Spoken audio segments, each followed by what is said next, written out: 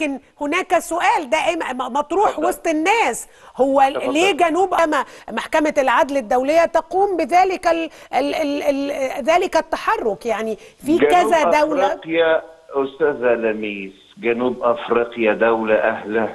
ودولة كفءة وعليها واجب مثل كل الدول العربية.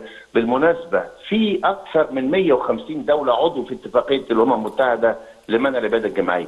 وهذه الاتفاقية اتفاقية عالمية ملزمة لكل الدول الأعضاء وغير الأعضاء. ولكن جنوب أفريقيا اعتبارا من عهد من انتهاء عهد ديكليرك العنصري بنهاية 1993 تحديدا عهد الأبارتايد الفصل العنصري آل دستور جنوب أفريقيا وتشريعاتها الوطنية دون سائر تشريعات العالم بوجوب أن تقوم جنوب نعم. أفريقيا بملاحقة مرتكبي أجرام ضد الانسانيه في أي بقعة من بقاع العالم بغض النظر عن جنسية الضحية وجنسية الجناه. أنا بشكرك. يبقى نتوقع إيه يا دكتور أيمن؟ ماذا نتوقع في الأيام القادمة؟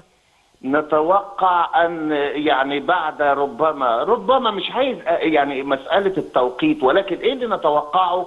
أن المحكمة لن تنظر في دفوع جنوب أفريقيا واسرائيل وحسب ولكن كل طلبات جنوب أفريقيا بالتدابير التحفظية اللي عددتها ربما تسع طلبات معينة.